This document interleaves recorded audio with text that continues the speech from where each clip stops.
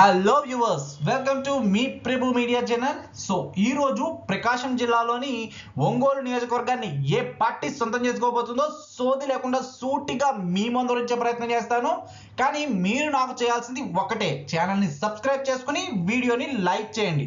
అంతేకాదు వీడియోని చివరి వరకు చూడండి. అప్పుడు మాత్రమే సర్వే రిపోర్ట్ అనేది మీకు క్లియర్గా అర్థమవుతుంది. సరే మరి ఒంగోలు నియోజకవర్గంలో వైసీపీ అభ్యర్థిగా బాలినేని శ్రీనివాస్ రెడ్డి గారు అలానే టీడీపీ కూటమి అభ్యర్థిగా దామచర్ల జనార్దన్ రావు గారు పోటీ చేసిన సంగతి మన అందరికీ తెలిసిన విషయమే.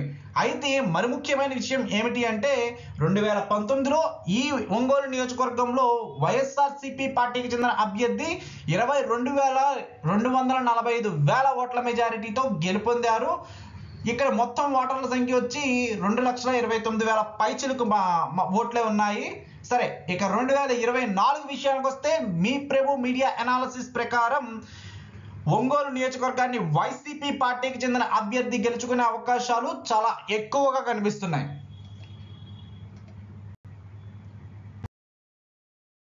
ఇక ఆంధ్ర రాష్ట్రానికి సంబంధించి నూట డెబ్బై ఐదు నియోజకవర్గాల సర్వే రిపోర్ట్స్ ఎవ్రీ ఫిఫ్టీన్ మినిట్స్కి మన ఛానల్లో అప్లోడ్ అవుతూనే ఉంటాయి.